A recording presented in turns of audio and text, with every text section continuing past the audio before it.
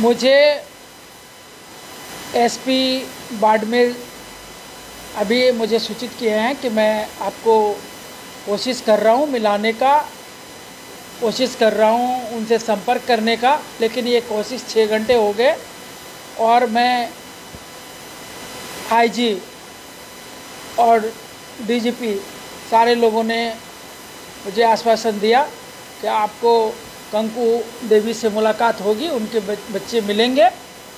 जो घटनाएँ हुई है, जिसमें कि कल सूचना मिली जब इन लोगों को के आयोग की सदस्य आ रही हैं तो ये लोग आनंद फानंद में उनके दो बच्चों को उठा लिया है। वो भी बहुत दुखदाई है। वो बच्चे भी मुझे चाहिए। और कंकु देवी को स्वतंत्र छोड़ना पड़ेगा। इस ढंग से पंचायती राज चुनाव से आने वाली महिलाएँ इतने बंदिश में आकर काम करेंगी और एक कम पढ़ी लिखी महिला 65 के उम्र में समाज में काम करके जब वो आगे बढ़ती है और वो एक दलित समाज से आती है, उसकी आवाज़ अगर आयोग उठा रही है और आयोग मिलने की मांग कर रही है और आप बार बार उनके परिवार से, उनके लोगों से, आयोग से आश्वासन देते रहे हैं कि मिलाता हूँ मिलाता हूँ मिलाता हूँ। ये कब तक चलेगा? आयोग इस पर बहुत जल्द संज्ञान लेगी। एसपी जो इसके, मेरा तो मानना है कि बाड़मेर जिला के जो अधिकारी, एसएचओ और आईओ इनको देख रहे हैं। इनसे अलग, इनको राजधानी से किसी विशेष कमेटी बना करके इनकी जाँच करनी पड़ेगी।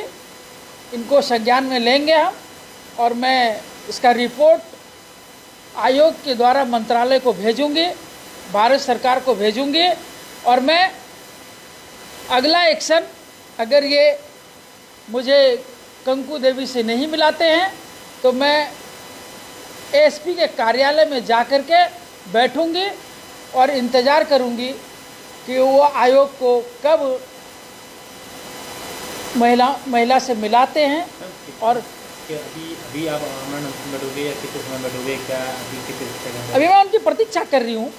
उन्होंने आश्वासन दे रखा है तो मैं इंतज़ार कर लेती हूँ? देखती हूँ दो तीन घंटे और दो तीन घंटे और देखती हूँ। उसके बाद अगर वो इस पे पहल नहीं करते हैं तो मैं अगला एक्शन उनके कार्यालय के सामने एसपी कार्यालय के सामने मैं बैठूँगी और कंकु देवी मेरे समक्ष हों।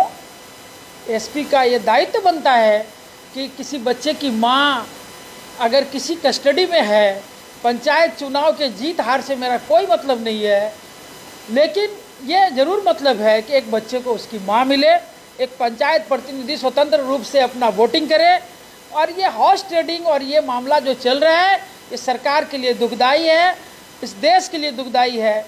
जिस देश को अंबेडकर ने सींचा, गांधी ने सींचा, विवेकानंद ने सींचा, उस देश में एक पंचायत प्रतिनिधित्व की महिलाओं के साथ ऐसा अन्याय, ये बर्दाश्त के खिलाफ है। आयोग इसमें संज्ञान लेगी।